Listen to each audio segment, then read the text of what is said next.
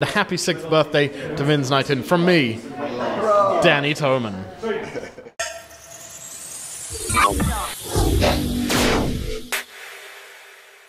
Vince Nightingale started six years ago, and everyone might think, oh, this is really original. But you know what? It's not. Uh, what happened was that Vince Nightingale started in the Bedford um, in 2010, and I just went up to Tony and I said, do you mind if I run a bit of a night? And Tony said, yeah, he completely trusted me. So today I am at the Hospital Club, which is a place that you know very well, Vin Goodwin. Never been here, never heard of it. What No, we meet again We meet again. I'm sober. After the riotous video that we last You haven't recorded. finished yet. Now we are here to celebrate your sixth birthday, not yours personally. no, I know I look six, but I'm not. And uh, yeah, six years of Vin's Night In. I can't believe I'm here. When I first started Vin's Night In, I remember another music night was celebrating its sixth birthday, and I thought, oh God, if anyone's doing this in six years, blimey. And here I am.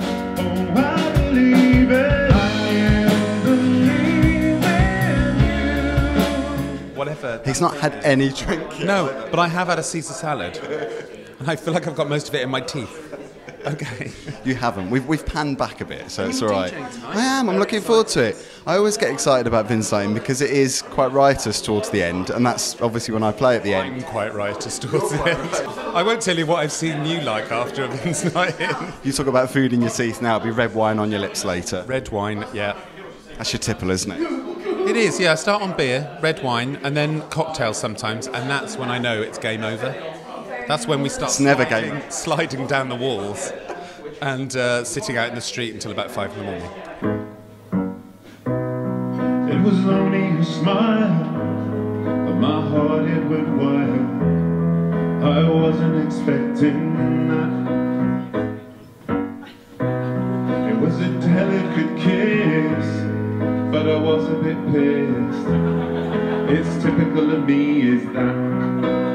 When I'm up on stage, I just, it's a bit like having loads of people round for dinner. That's You went to West Country then, it's a bit like. like I, it's like having people round for a dinner. We just have a bit of a laugh, and it's a bit like having friends round uh, to listen to some music, have a bit of a laugh, have a drawing competition, win some shit prizes, and that's what it's all about, really. An amazing thing that you're still doing it, you're still here to live the tale. Alive. How do they let you get away with it? Vin Goodwin, what a Can I star. just say on camera though, thanks to the hospital club for being so massively supportive of Vin's Night In. They've basically let me carte blanche lower the tone of their um, their club for three whole years. Um, and then three years before that, it was at the Bedford and St James, and I thank them for allowing me to do this shit. We're, we're having a ball. Keep it going! Hello, Phil. You're right. I'm good, how are you? I'm grand. Thank you. Very excited. I love the fact that you were sitting there patiently waiting for us to start this interview. I just want to see Vin. You know, uh, it's all about Vin. He, he is the man. Well, that is a good introduction, a good way to start the interview. How do you guys know each other? Through JB Lawson, actually, who's uh, a friend of mine, and um, he introduced me to Vin. I went, I'd love to play that night. Uh, can you please? And he introduced us, was very kind, and then I started playing, and um, don't know what happened to him. You said we could be friends with benefits. Could be for you. I thought that meant sex, but you thought it meant a series of regular cash payments. Uh, what's the best thing about Vin's Night In? Actually, means I don't want to get sort of gushy, but it um, it does mean quite a lot to me because um, I moved back from Manchester to London and I sort of found it difficult to kind of get gigs again. And then when I met Vin, he just sort of happily put me on and was being really supportive and gone, yeah, you can come down. And I've played loads of them, and it's a great crowd, and he's helped me out a lot um, and become a good friend. He's great. It's, it means it does mean a hell of a lot. This song proves that homophobia is wrong.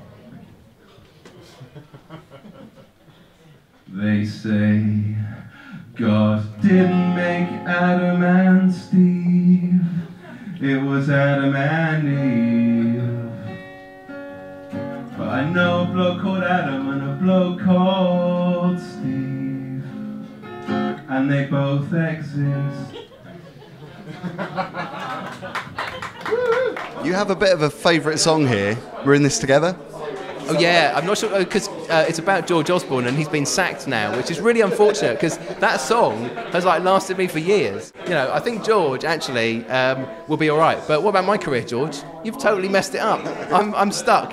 I mean, I could still play it. I might change it to some other politician. Are you able to explain what happens to George in the song? Uh, he gets kidnapped. It's quite dark, isn't it? It's quite dark, but it's silly because it, obviously that never happened. But um, I did do a video with a George um, sort of lookalike um, that I bundled into my house and into my cellar. And my next door neighbour, I didn't stupidly didn't tell her what was going on, and she kind of came out of her house and like knocked on and was like. Yeah, ashen white, uh, thinking that something really dark was actually happening uh, next door. Sorry, Trish. And this is my real grand. Her name is Winnie Berry. And she would have been about 104 by now, but she's not with us anymore. Please give her a massive round of applause. I think this will be my fourth Vin's Night In tonight, and uh, you know, four is my lucky number. Um, probably shouldn't have said that on camera. Hopefully, it remains my lucky number. Doom now. Uh, please don't say that.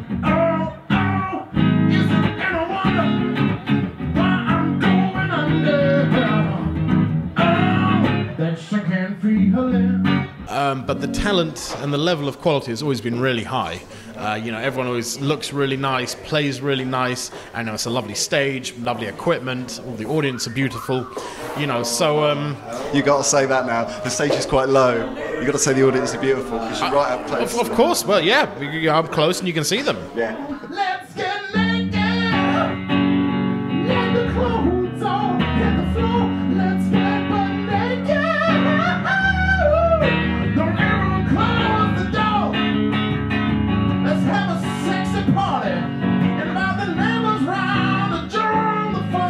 Lorna Blackwood, how are you? Hi, I'm good, thank you.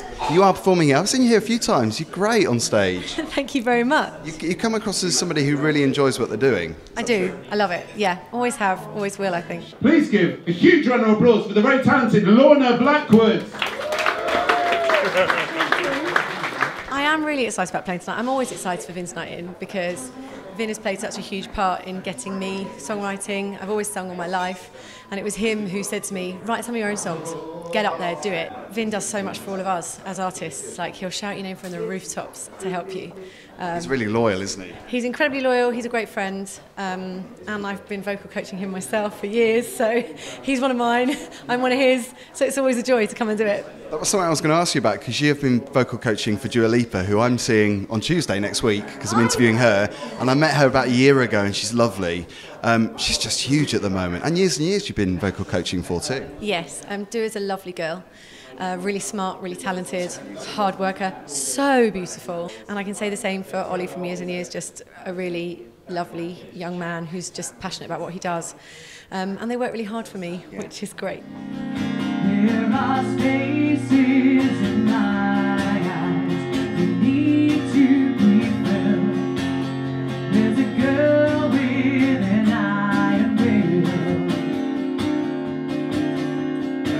Blackwood, your husband, uh, I've got to say, he's the producer of George Ezra's huge album.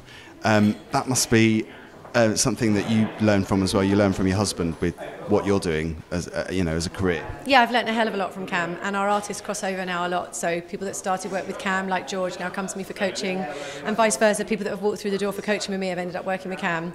I've learnt so much from him, um, and he's playing with me tonight, which is really nice. Yeah. Um, so I tend to sit aside when he's producing, but every now and again he'll draft me in to get some vocals done and things like that. I also do backing vocals for him, um, which is handy. We're a bit of a team, I guess, but And he probably learns a lot from you as well. I don't know. I'd have to ask him that. He's over there. Yeah, nodding.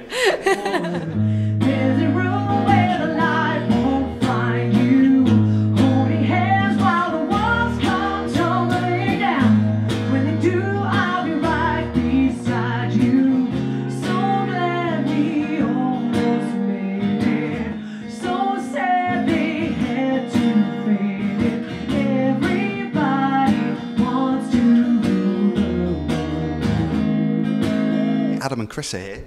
I feel like I'm in, a, in between a tall person sandwich. You're not just in one band or one act.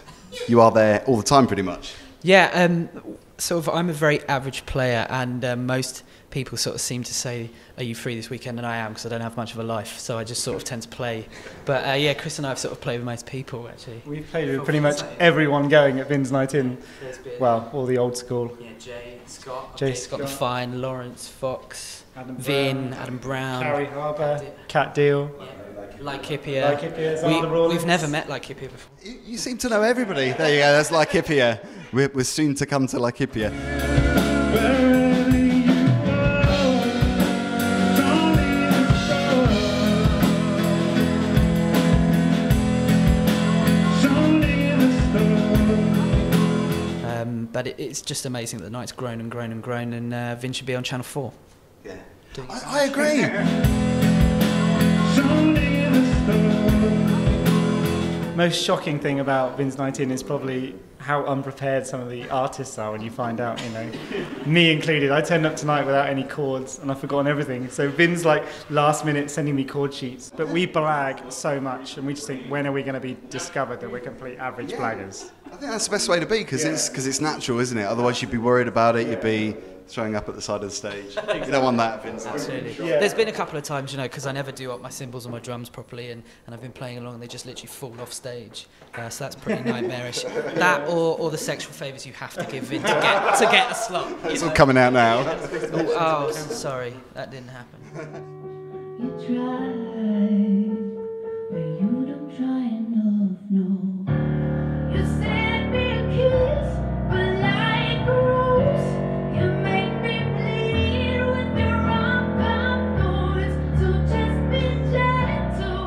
here's Adam Brown. Hello, how you doing? How are you? I'm Good, Yeah, good. You're just about to go on, so I, I feel bad that you're here doing the interview because you're literally minutes away from. Always got time for you, Phil? Always So, so cool, so calm. I love it. It's the pure talent coming through. No, this is sheer panic. Um, it's just behind the eyes. It's just sheer panic. But yeah. I love it. It's looking good though. It's it's working. Um, so tell us about what you do because I've seen you here a few times, but a lot of people watching might not know. No, well, I started off um, in sort of the Kashmir Klub and the Bedford scene, uh, and through Tony Moore, those kind of guys. Um, and then Vin, I actually knew socially, um, and Vin basically just has kept on sort of pushing me and also co-writing with me as well. So most of, well, a lot of my songs are co-written with Vin. Is there a highlight in that six years? One night that stands out? To be honest, no, loads of them because you know if you literally go over to like Vin's house for a Sunday dinner or something, he has that uh, that party feel. He is so good with people. He re- really knows how to make things um, make things happen. But you know, having played with him, you know, we've played so many times. We've played at um, a festival. We've played um, here at Vin's Night In several times, uh, as well as you know lots of other small venues. So. I thought you were just passing. I'll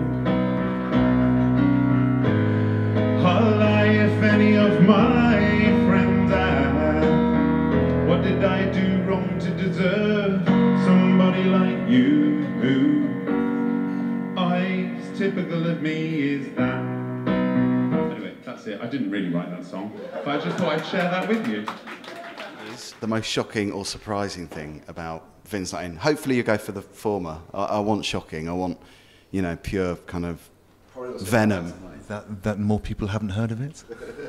Yes, like it. Good answer. Right answer. That's, uh, to be fair, that is actually a fair answer.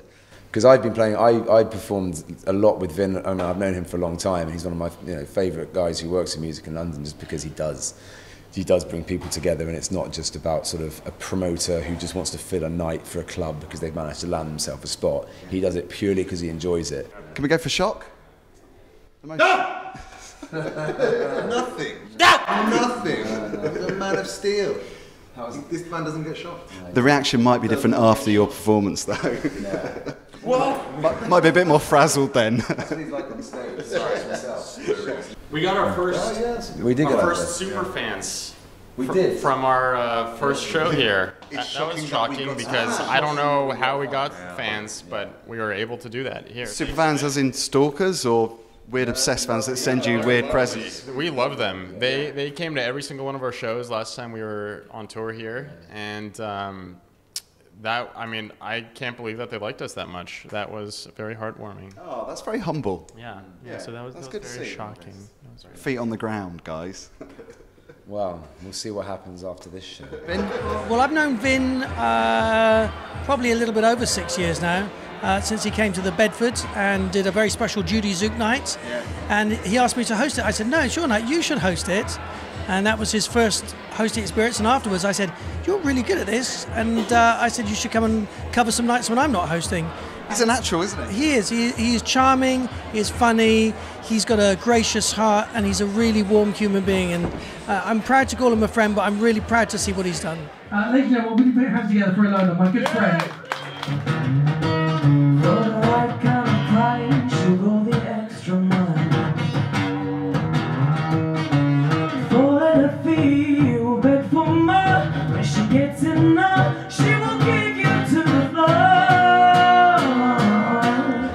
Now you've got a massive uh, CV. We have to talk about Iron Maiden because you were one of the guys that started it back in the late 70s. Start it, but I was in one of the original lineups in 1977. I was a child prodigy, obviously.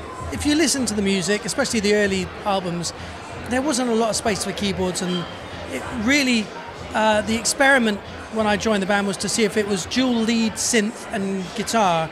And we tried that for a while, and it didn't feel right for me. And after I left, they didn't really look for another keyboard player. They got another guitarist, which was the right formula. So, but I was, you know, I look back, and that was the my introduction to the music business. That's the reason I moved to London. I'm very proud of those days. And I guess they say that things happen for a reason. So if that hadn't happened, who knows what would have happened? I might be a multi-millionaire now, living in Hawaii. I got to play keyboards with a band through 86, 87, 88. Um, and we had a big hit. The song was number one in, I believe, 15 different countries, including the USA. And I've heard how well you can all sing. Girls, guys, there is no excuses. I've got one of the most expensive, the million dollar quartets of singers here on stage who are going to do the harmonies and the chorus. Uh, Cutting Crew, can't forget Cutting Crew, mid 80s, 86 I think it was, wasn't it? 86, 87, yeah, and a bit of 88. That was an amazing period. So that was a band that I played keyboards with and stuck around long enough to enjoy touring with a number one hit in America and throughout Europe. And th- those were great. The 80s were fantastic. I mean, that that was a great period to be in a band and have success. And and uh, and I'm you know I, tonight, uh, as is tradition, I may well do a little acoustic rendition in my performance later on.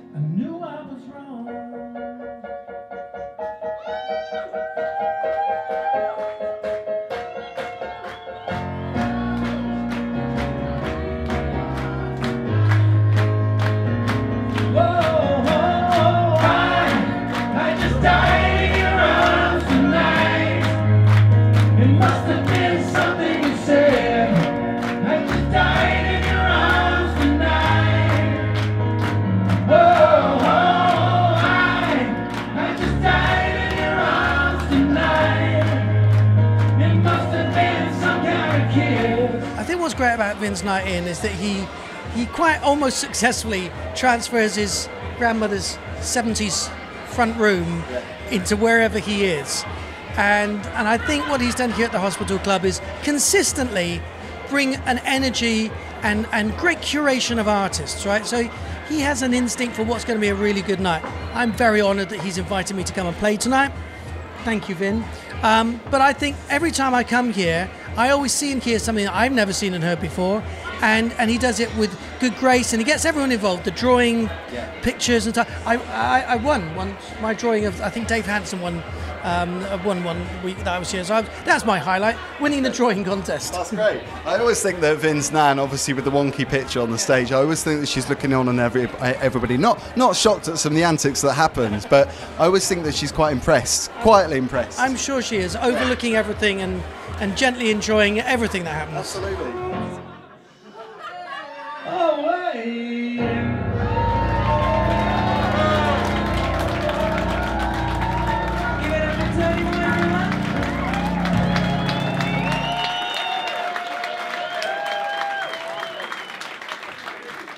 Thank you. Are they the best singers? Everyone here is amazing, actually. Ladies and gents, the wonderful Tony Moore,